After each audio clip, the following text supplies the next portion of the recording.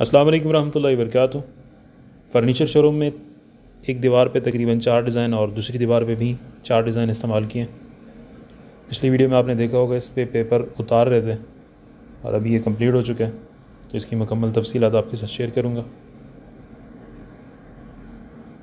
इसमें सबसे पहला जो डिज़ाइन लगा हुआ है, ये एक्सक्लूसिव कैटलाग है।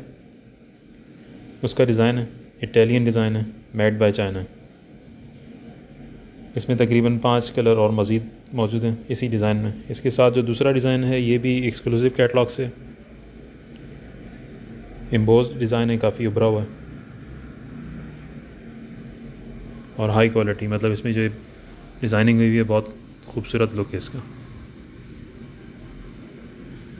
ग्लीटर डिज़ाइन है।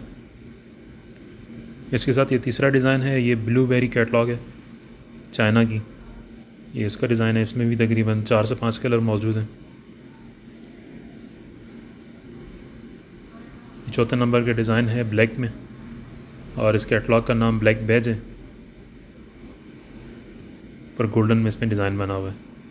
इन सब के साथ स्क्रीन पे नंबर चल रहे होंगे, और नीचे डिस्क्रिप्शन में उस कैटलॉग का नंबर लिंक साथ में होगा। आप उस लिंक को क्लिक करके उसके मज़ीद डिज़ाइन देख सकते हैं। जैसे ब्लैक बैच का है तो ये चौथे नंबर पे होगा। ब्लूबेरी तीसरे नंबर पे। उसके बाद दो डिज़ाइन और हैं जो पहले नंबर पे और दूसरे नंबर पे ये एक्सक्लूसिव के हैं। अब दूसरी दीवार की तरफ़ चलते हैं।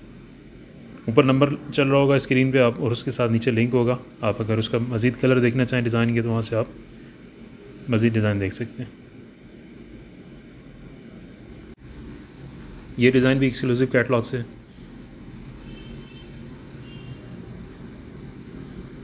बेस इसकी बिल्कुल सिंपल सी है और उस पर ये बंच बना हुआ है, गोल्डन में।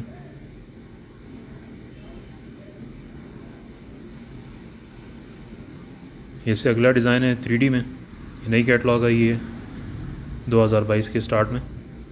इसकी वीडियो भी आज ही कल में अपलोड होगी इंशाल्लाह चैनल पे।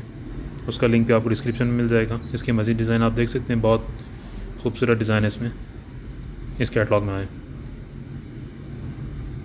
ये इसके साथ वाइट बेस है। ग्रे डिज़ाइन बना हुआ है मोटिफ है।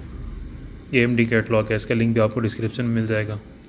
इस डिज़ाइन में भी तकरीबन पाँच कलर हमारे पास मौजूद हैं और इससे अगला डिज़ाइन गोल्डन में एक्सक्लूसिव कैटलॉग के और इसमें भी तकरीबन पाँच से छः कलर मौजूद हैं। चैनल को अगर अभी तक आपने सब्सक्राइब नहीं किया हुआ लाजमी सब्सक्राइब कर लीजिए ताकि हर वीडियो आपको मिलती रहे। शुक्रिया।